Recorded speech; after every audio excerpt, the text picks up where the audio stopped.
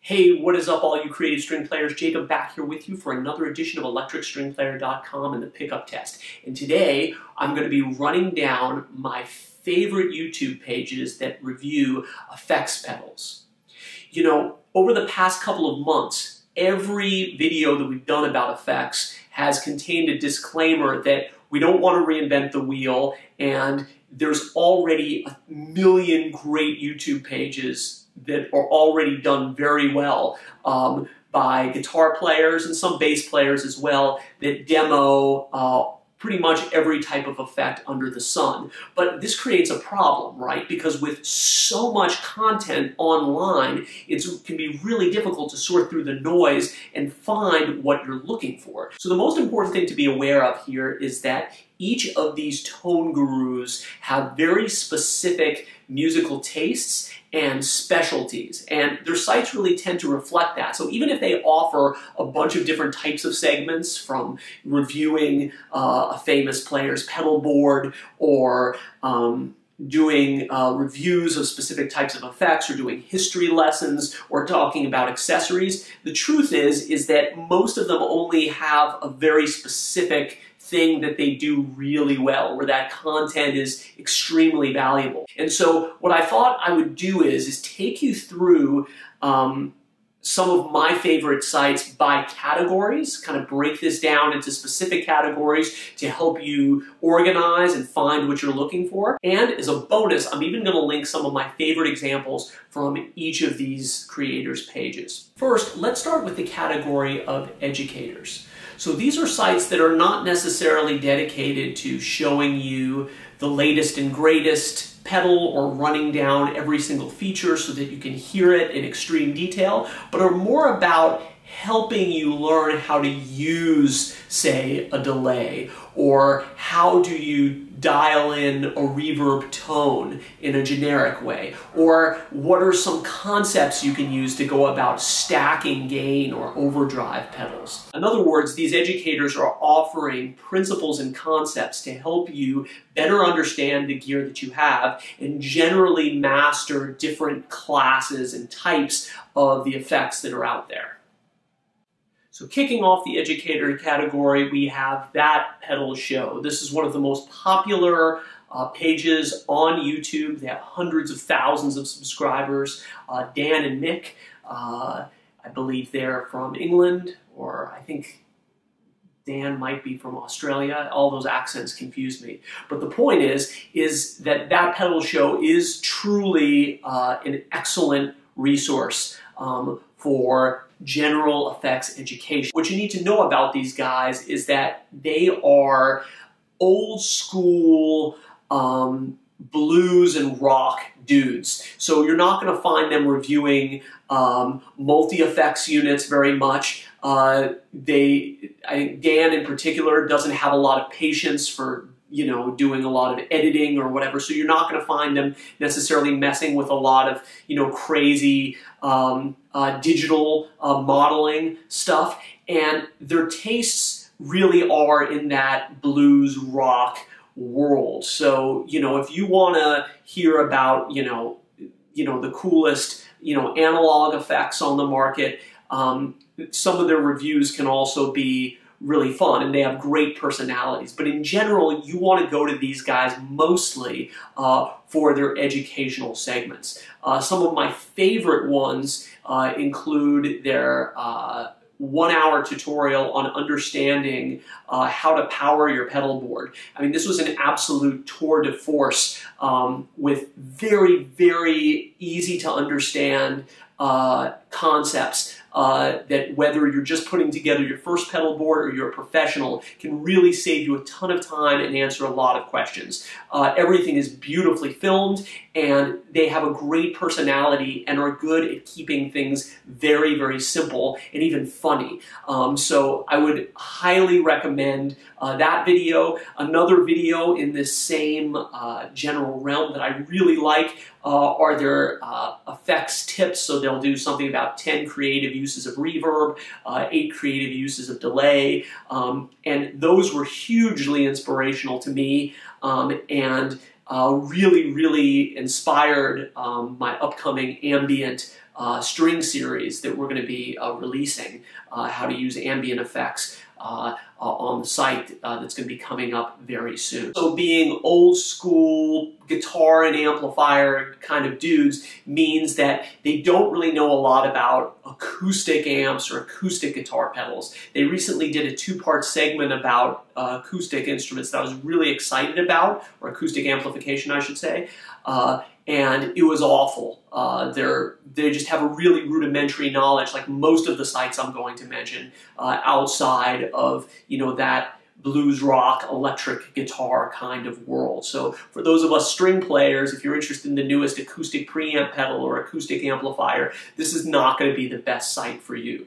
Number two is Colin and his CS Guitars YouTube page. Colin is, I believe, Scottish I don't know what's up with all of these guys from across the pond knowing their stuff, but they do. And his site is nowhere near as big as the pedal show. As all of you guys probably know in YouTube, the most popular pages, just like the most popular artists, are rarely the best. Um, but this guy really knows his stuff. Again, is extremely funny. And while the production value isn't quite as high as that pedal show, the informational value is off the charts. Really, really good. Um, Colin um, also has some really great uh, uh, episodes that have to do with um, gear and accessories related to effects pedals. My absolute favorite show that he's done um, deals with uh, different types of connectors or hardwired uh, connectors. Now that may seem like a very boring topic, but he knows so much and his information is again very practical and easy to understand and can save you a lot of time and in the case of that episode saved me a lot of wear and tear on my pedals. Now the one thing with Colin is that he's very much geared toward the metal and hard rock world. Um, so if you're interested in that, um, there's going to be even more great information on there for you. You know, if you want to learn about the difference between class AB versus class uh, D amplification, or you want to know about how to find the right patch cable. This guy really, really has his stuff together, so check him out. Last but not least is Rhett Shull. Now, Rhett Shull is pretty new on the scene. I think he's just been making videos on YouTube for about a year or so. But his videos are really, really beautifully shot, really beautifully produced. And in the case of his educational videos, he's got a cool one about uh, creative uses uh, for delays and for modulation uh, that I really, really like and thought was really inspiring. Um, he can be an excellent teacher and has some really cool ideas. Now, he's more coming from the player side, so uh, a lot of the time his videos can be lacking in um, depth and in really thinking things out um, as, as a teacher. Uh, I don't think he's strong as strong as the other two I mentioned, uh, but again, his videos are very beautiful to look at, and when it comes to his uh, tips videos in terms of using effects, really, really good. In the case of his site, I would try to avoid um, uh, any interview stuff that he does, and probably also when he tries to do shootouts um, of one type of gear versus another, a lot of the time there's not a lot of meat on the bone there. So just be aware that uh, when it comes to what Rhett does well, I think he's a real specialist. Um, and again, I'll link my favorite videos of his down below. The next category of effects channels are the historians. Now, these are the guys that give you a broad overview of how distortion pedals developed over the years, or what are the real differences between different types of wah pedals in different eras. And while some of this can get a little bit nerdy, I find it's really, really helpful to understand this stuff, just to get my head wrapped around how this gear worked and a basic language uh, for understanding what I might be buying or what I might be reviewing. And there are a couple of guys that do this extremely well and in a really entertaining fashion. And I firmly believe that just like we have music history in the, our present day conservatories, and a lot of us learn a little bit about the history of the bow and the famous makers like Stradivarius and things like that. If you want to get into this world, I think it's really important, just basic literacy, uh, to know about some of this stuff. So it should come as no surprise that some of the top YouTube pages in this category are created and curated by boutique effects pedal manufacturers. You know, the guys that have probably taken apart thousands of uh, distortion pedals and have rebuilt thousands more. My absolute favorite in this category is Joshua Heath Scott from JHS pedal fame. Now, any of you guys that have ever spent time looking for an effects pedal have probably come across some of Joshua's work. There, there's some of the finest sounding uh, distortion and also time-based and modulation effects on the market. And boy, does this guy know his stuff. Uh, he is an absolute guru uh, and a fountain of knowledge. And some of his um, episodes on you know the history of distortion pedals, what were the first guitar effects, um, uh, are so incredibly well done, well produced, and clear. I really feel like this guy, just watching his videos, is like getting a degree um, in tone. It's just completely amazing, uh, and he is fantastic. Now, he's not a great guitar player, and you know when he demos things, uh, you can kind of get the basic idea, but he's much more interested in helping you understand uh, what's going on inside of these pedals and where they came from and how they got here today. The second guy in this category that I would like to recommend, also uh, an incredible uh, effects pedal maker, is Brian Wampler's site. Now, Brian's stuff uh, is not quite as well produced. A lot of it is kind of coming from his studio, but Uh, he also does an excellent job as a historian. And I also love Brian's myth busting series, where he has episodes on things like are there really genre specific drive pedals? Or the myth of gain in relation to clipping. This is super practical stuff for gigging musicians and is an amazing resource that you should check out. One thing I really appreciate about both Scott and Brian's pages is the fact that even though they both have their own highly successful effect pedal companies and brands, they freely explore all of the famous classic and even contemporary brands of effects pedals out there. Whether it's a classic tube screamer or budget pedals by Behringer, you can really tell that these guys are enthusiasts themselves. Not just from a maker's perspective, but that they're also collectors and players. And that's just really cool. For our next category, we have demo guys. Now, this is pretty self-explanatory. Here we're talking about uh, usually guitar players, usually virtuoso guitar players, um, who are going to show you what these what these pedals are capable of. A lot of the time, they're such great players that they can pretty much make anything sound good, uh, which can which can be an issue unto itself. But I want to cover a few of these guys uh, that I really like. Um, and again, in this category, it's really important to note that each one of these dudes generally uh, has a type of music that they're into, uh, and therefore a type of pedal uh, or a class of um, uh, gear that they tend to review. So starting out, uh, Pete Thorn. Pete Thorn, like that that pedal show is one of the most popular YouTube channels uh, in this category. If you just put, you know, effects pedals, I'm sure he'd come up in the top two or three. Um, but like that pedal show, I think for the most part, he really deserves this ranking. Uh, he's in the world of you know shredder rock blues guy if that's your thing. Uh, he's a virtuoso player um, and gives really really musical uh, demos uh, i think in almost every case original compositions uh, that he's just come up with or been inspired by uh, the pedal. And what he likes to say at the beginning of most of these demos is, is i'm just going to play. Um, that said, he does give you a really, really excellent rundown of the general features of the unit. Um, and he's good at talking about what makes this unit special and unique and different uh, and some of the unique applications that can be used with it. And then he'll actually apply that to uh, his epic demo. Um, and so I really, really like Pete Thorn. Um, he also has um, a few other series. My favorite is, is uh, Tone Secrets, um, and those are usually geared around a very specific concept, like how Van Halen will use an Echoplex uh, before uh, his overdrive to get sort of you know an iconic uh, sound uh, from their first album, uh, or you know uh, some basic concepts of how to stack uh, uh, overdrives or how to use a tube screamer and make it sound musical. Um, and these are things that you've been dealing with in your playing. I absolutely would recommend Pete Thorn. He's unbelievable. And he doesn't just do guitar effects, uh, he also does.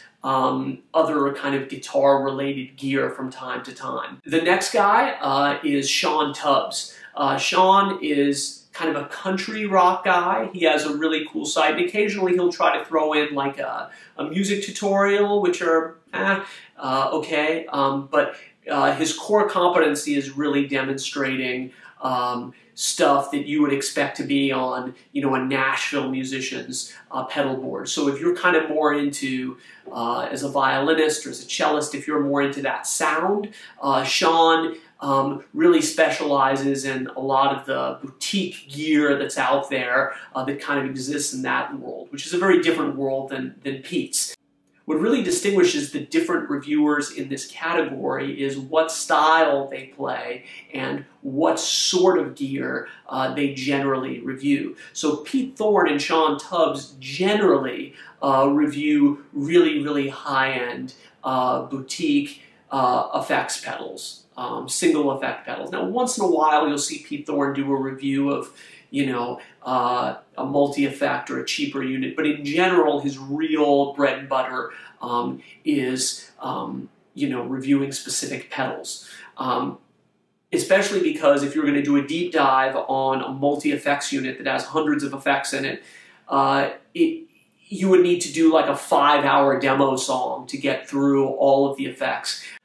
But there is a guy online who I really like uh, named Henning, um, and uh, his site, uh, Epi24, I believe it's called, I'll link to it below, um, is really unique uh, in a couple of ways. First of all, Henning, uh, who isn't as much of a virtuoso as the other two guys I mentioned, uh, and whose personality can be a little bit abrasive, uh, I think he lives in Germany, uh, he produces really high quality demo videos that are extremely in depth. Uh, some of them will be quite long. He'll spend an hour uh, reviewing a multi-effect unit and really, really take the unit through its paces. And another cool thing about Henning is, is that even though I think he specializes in metal, because he lives in Europe, uh, he reviews a lot of the European uh, and also a lot of the inexpensive Chinese products by Mooer and by uh, Moen and by Joyo. This is like a real specialty of his. And that's a cool thing because a lot of you guys, you'll go on to eBay, you'll go on to Amazon,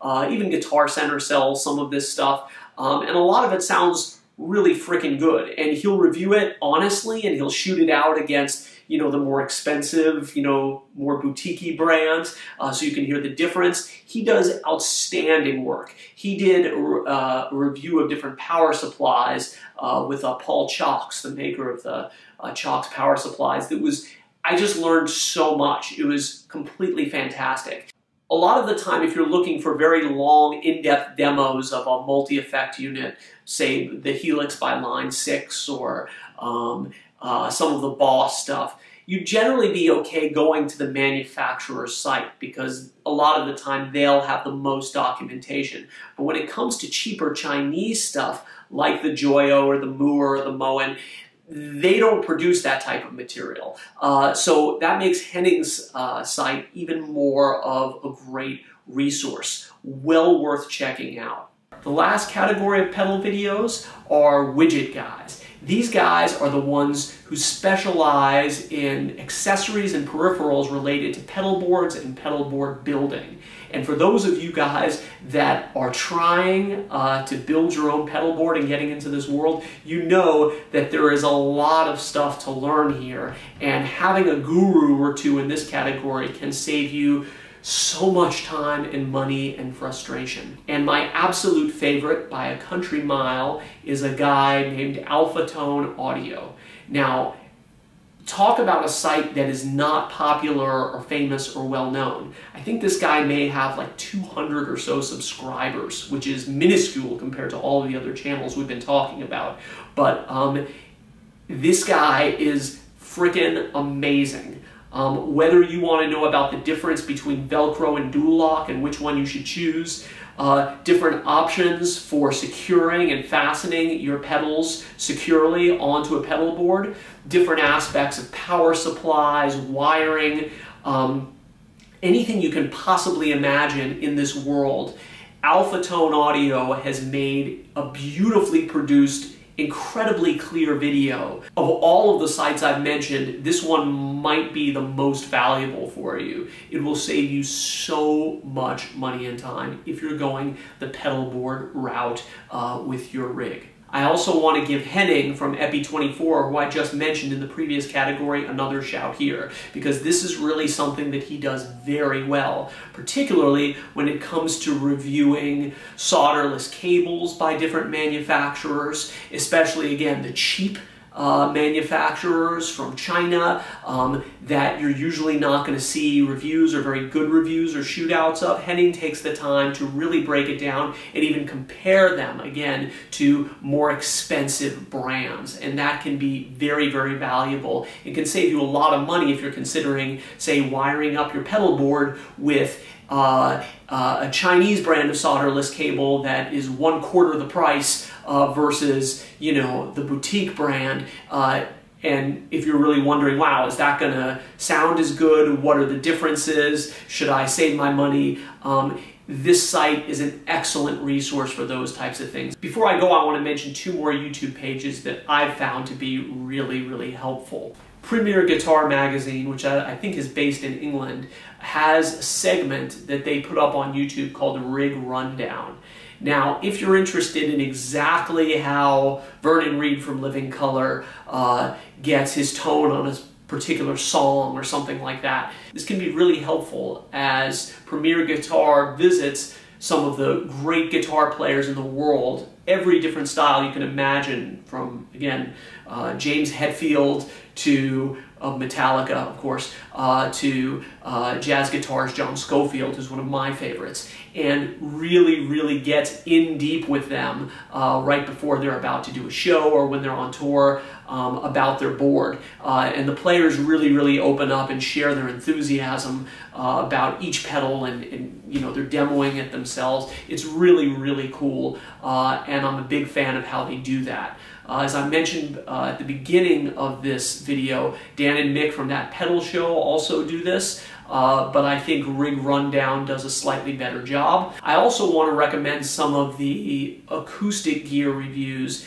that have been done on YouTube by Acoustic Guitar Magazine. Now, a lot of these are not very high production value, um, and uh, the guy who does a lot of the demos uh, is not a particularly interesting uh, dude to watch. But as none of the sites mentioned so far really do acoustic demos at all, and if they do, they're not very good. Um, the reviews on acoustic guitar um, are actually well done in terms of the information that you get. So if you're interested in uh, the newest acoustic guitar amp or uh, the newest acoustic preamp, and I know a lot of us string players are, um, that's the best, most consistent resource that I've found outside of our side, of course. Um, and I think it's one of the best things out there uh, in this category. Well, that's it for now, and I hope this video has made it a little bit easier for you to find your next tone guru. And if you think we neglected a great site, please leave the information in the comments section below. We're always learning too, so we would really appreciate that. Also, if you've watched this far in the video, you know that this content is unique and takes a lot of work to put together. And as our channel is not monetized, the only way we get any value in return for the time we've put in in creating this content is when you click like and subscribe. So thanks for doing that, and we'll see you next time at Electric String Player and the pickuptest.com.